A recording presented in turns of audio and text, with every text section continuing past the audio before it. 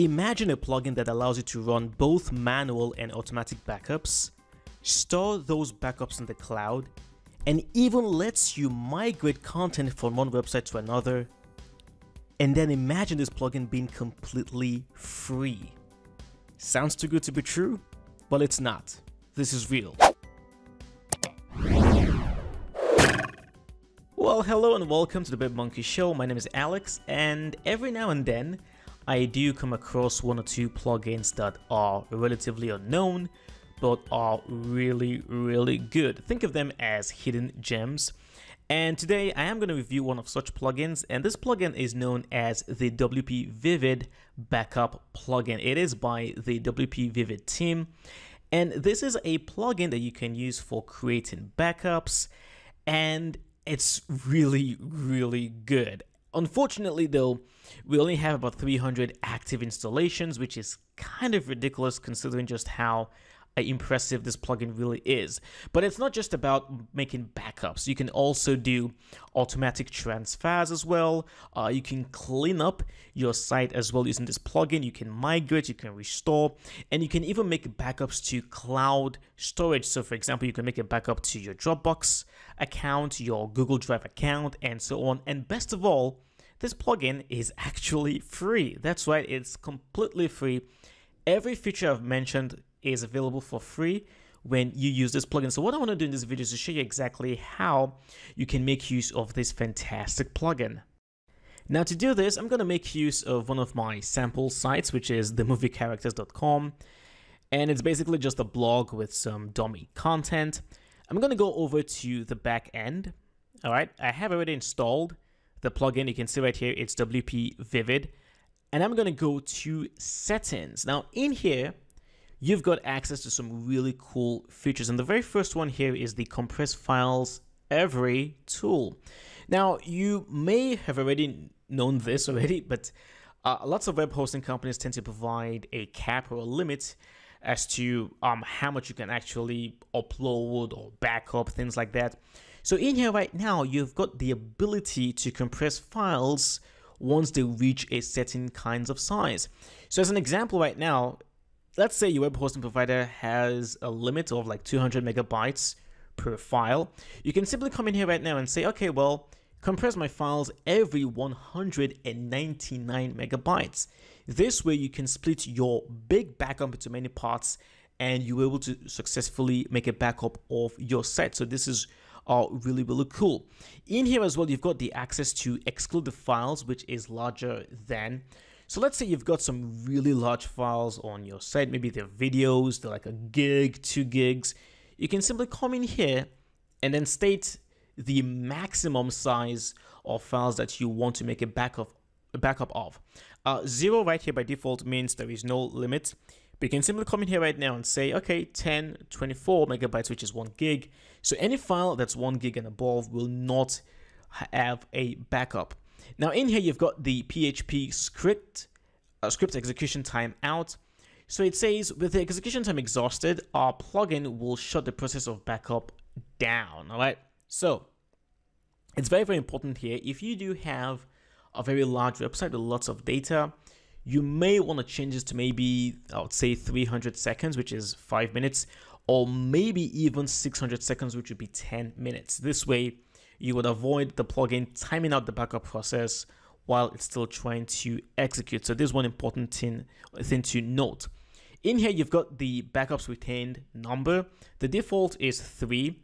Keep in mind that the more backups you have, uh, the more space will be occupied by your backup. So you don't want to go overboard with this number here. Two or three uh, would be ideal. In here, you can also change the default folder where your backup files will be stored. You can set the path right here. So it's going to be uh, your URL and then WP content and then the WP Vivid backups folder. But you can change the name of the folder to something else uh, if you wanted to. In here, you can choose how you can archive your backups.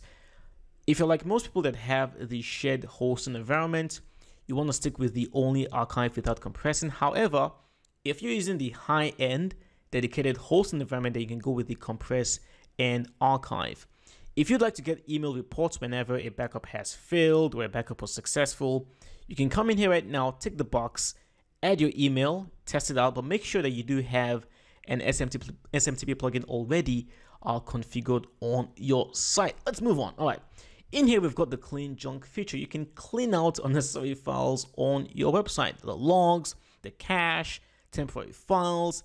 Just tick the boxes and click empty. So this is a really cool plugin for also cleaning out unnecessary information or data on your site. And then finally, in here, you've got the export and import settings.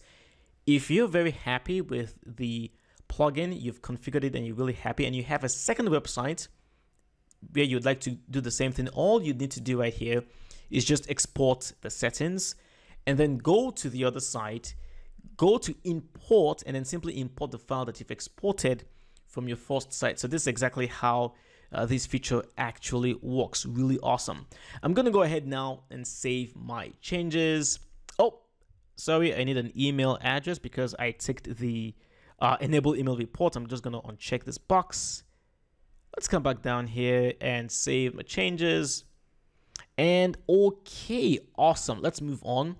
Now, what I want to do right here is to show you how you can configure remote storage, all right? The cool thing about this plugin is that for free, you can actually make your backups and store them either in Google Drive, Dropbox, Microsoft OneDrive, Amazon, and even DigitalOcean Spaces. Really cool, right? So what I want to do here is to show you how you can actually configure these. I'm going to go with the Google Drive as an example. So in here right now, you can add a name for your Google Drive. So I'm just going to call this the G Drive 1 as an example. And then you can also set it as your default remote storage if you wanted to. I'm going to go ahead now and click on authenticate with Google Drive. So you want to make sure that you're signed into Google. So I'm going to do this. Let's sign in. And then of course you'll have to provide, oh, sorry, I had an authorization error. Ha ha ha ha ha. All right, let's try this again. I'm not sure why that happened. Let's do this again. Okay, there you go. it's Google. Google can be really funny uh, sometimes. All right. So you'll get this message from Google asking, hey, would you like to grant this plugin permission to manage the files and folders? I'm going to say allow. Yes. And there you go. I'm going to go ahead now and click allow one more time. So this way right now, we've given the plugin permission to store backups on our G Drive. Let me just do one more as an example. Let's go with Dropbox. So again, I'm going to come in here right now and say uh, Dropbox 1, just to give it a name.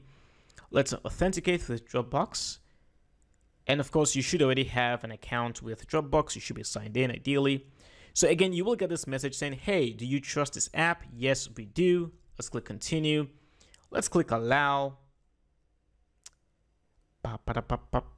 And there you go. Awesome. So if we go back to remote storage right now and we scroll down here, you can see that we've got Google Drive activated and we also have Dropbox activated. However, I'm sorry, we've got them configured. However, we can only activate one at a time. You can't activate both Google Drive and Dropbox at the same time, so we have to choose one.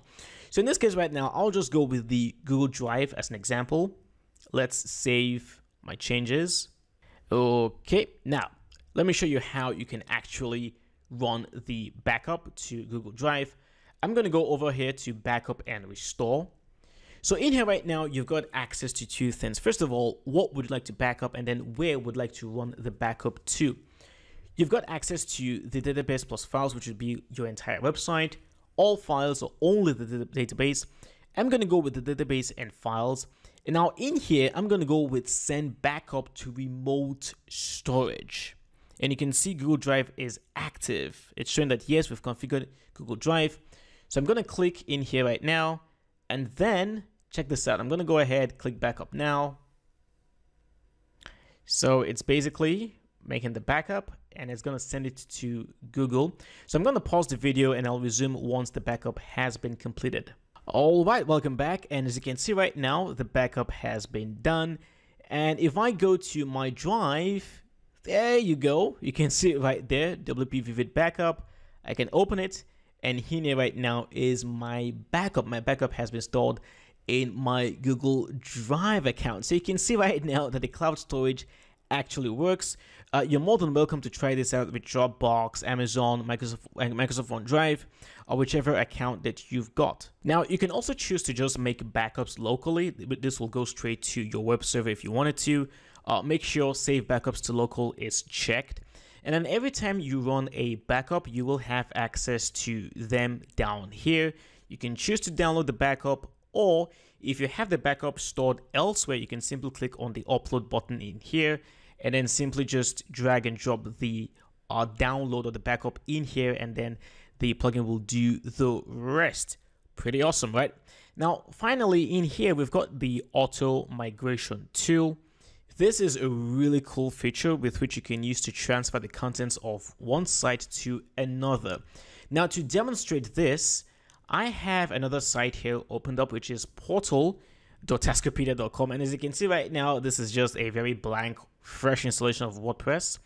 So I'm going to try and transfer all the contents I have on my site here, which is the movie characters. I'm going to transfer everything over to this site.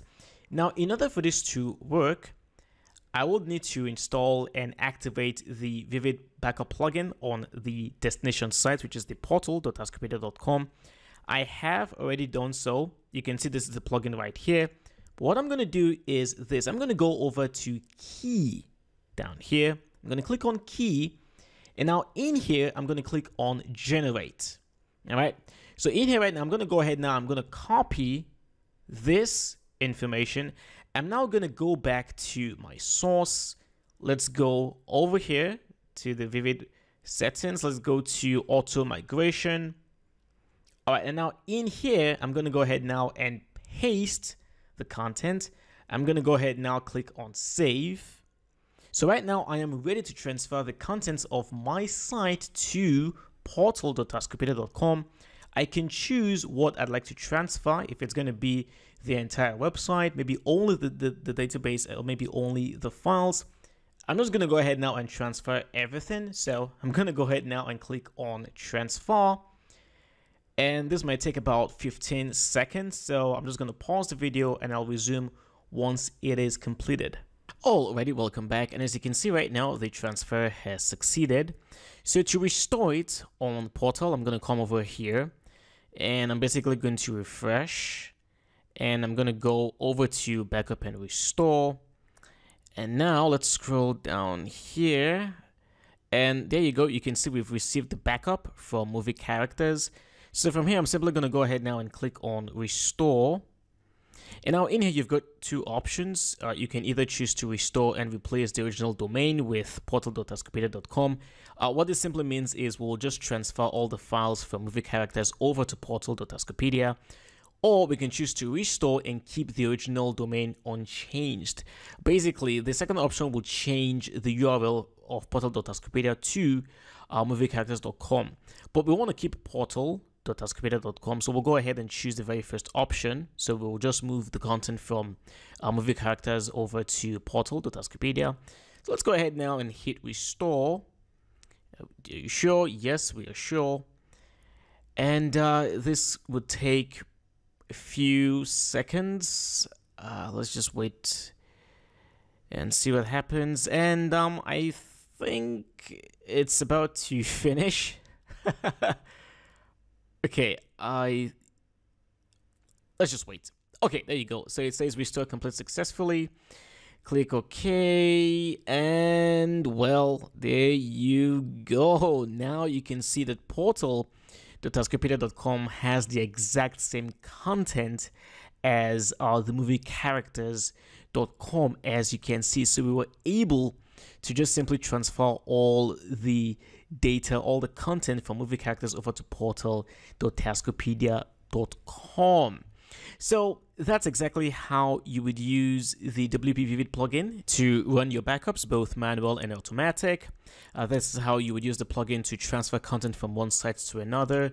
And of course, I've also shown you how you can use the plugin to clean up content, uh, unnecessary content from your databases. So to round this up, let me just show you one last cool feature they have regarding support if you come down here to WP Vivid and you click on website info, in here, they've got a really cool support system. If you're having any troubles using the plugin, you can come in here and add your email and then simply send the debug information to them if you do have SMTP already configured.